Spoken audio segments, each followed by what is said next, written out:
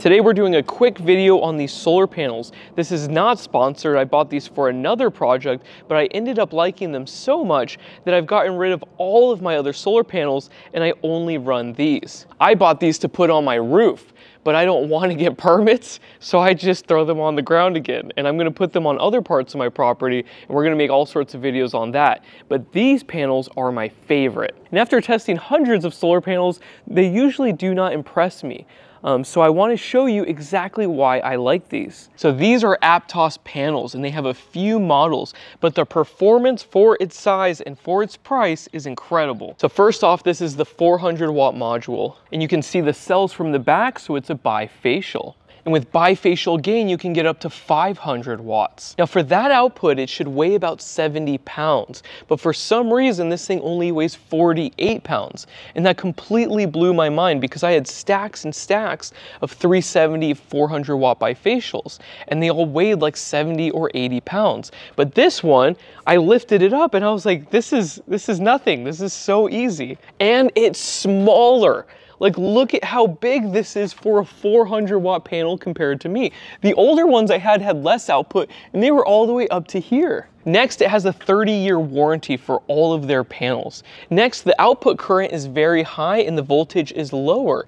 Typically, we were seeing, you know, 50 volt panels. These ones are only 37 and the current is higher. So that means you can put more panels into series without exceeding that max input voltage rating on your solar charge controller. If you have a single series string system like a Sol-Ark, an 18K, a 6000 XP, this is perfect for that. Next, these connection cables are really long and let me show you an example of why that matters. Now this panel I mounted the wrong way and I was too lazy to remount it. I was making a video. So I was like, hey, these cables are so long. Let's see if it reaches anyways. And it actually reached and I didn't have to remount this.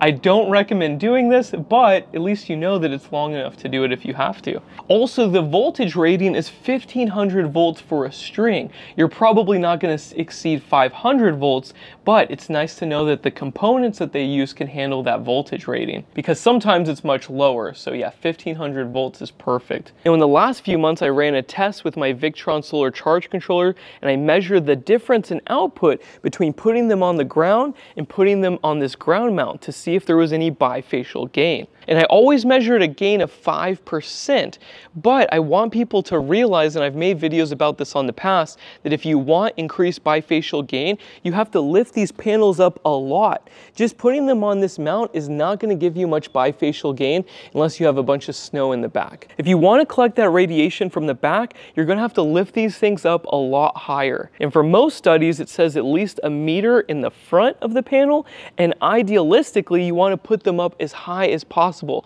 like on a carport or something like that but mounting them on an IntegraRack is not gonna do that much. Also, I love this IntegraRack. I actually have other racks, and this is my favorite now. So we're gonna make lots of videos in the future about this thing, but fantastic if you use it with an Aptos solar panel. Now let's talk about the price. They have three different models, and the 400 watt one is not the best deal.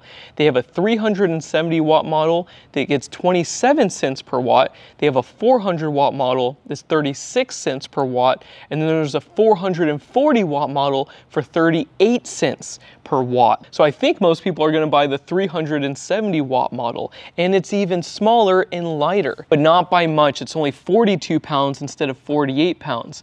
But for the price, I don't think you can beat it. Now, even though it's a lot cheaper, the 370 watt module can actually have gain up to 480 watt output.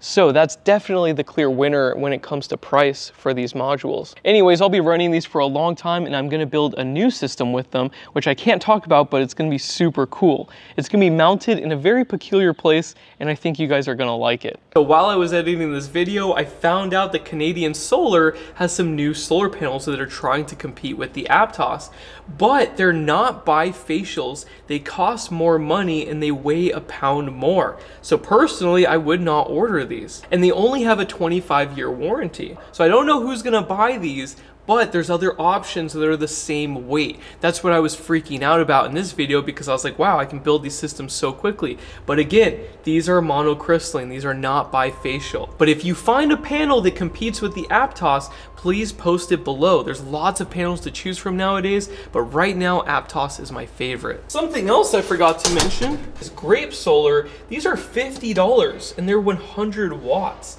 These are only for like small 12 volt systems and I absolutely hate this shape, but if you need a cheap panel for 50 bucks, this is pretty good. And that's pretty much it. I'll have links down below for everything. Um, I hope you guys like the Aptos panels and please post your systems on my forum. If you build a big array with Aptos panels and an IntegraRack, we would love to see it. So thank you so much for watching and I will see you in the next video. Bye.